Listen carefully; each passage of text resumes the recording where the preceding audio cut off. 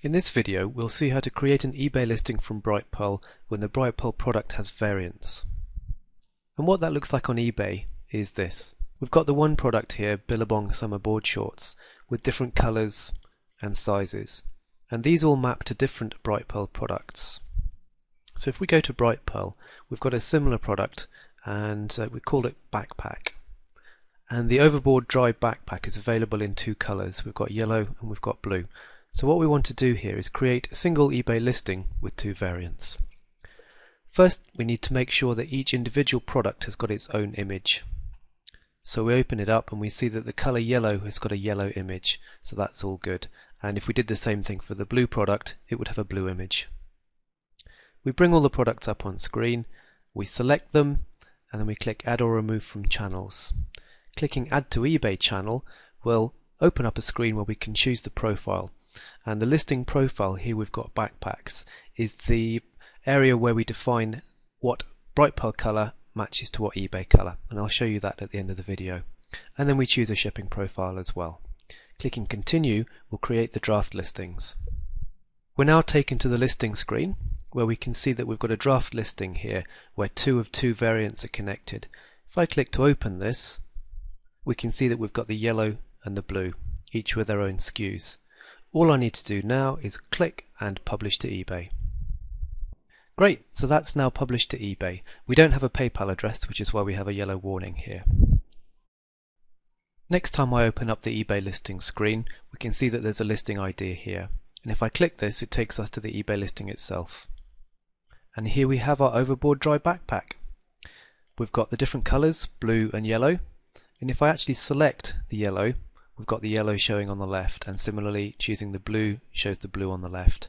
So we've got 9 available of the blue and 8 available of the yellow. Going back to Brightpearl, searching for products, we'll see 9 available of the blue, 9 on hand, and 8 available of the yellow. So that's simple. That's how to create a listing with variants on eBay. So I'll show you a little bit more about the listing profile, which is where all the power is. We go into Channels, eBay, and settings and then we choose our listing profiles. I'll just show you the listing profile we've created before and there's a separate video to show you how to actually create one of these listing profiles. If we scroll down there's a section here called variation mapping and this is optional. You'd need to do this if your Brightpearl product has variations. Okay, so we've chosen to use variation color to switch the images we could have had any number of our other ones, but color was the one that actually meant that they had different images. And then what we've also done is chosen to map the Brightpearl value for color to the eBay value for color. So Brightpearl black matches eBay black, Brightpearl green matches eBay green, and so on. And if there was a special Brightpearl value that eBay didn't have, you could put custom values in here.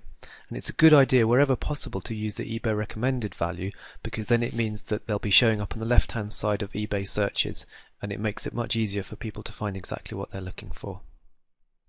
Further down in the item specifics, we can choose something specific to this category. So here we've got type is backpacks, the subtype is frames, sizes. We don't need the color here because we're using that as the variation. So that's what a listing profile looks for a product group with variants. And the combination of the two, a product with variants and the listing profile that supports variants, is all you need to list a new eBay listing with different options. And that takes us to the end of the video that shows you how to list products on eBay when they've got variants.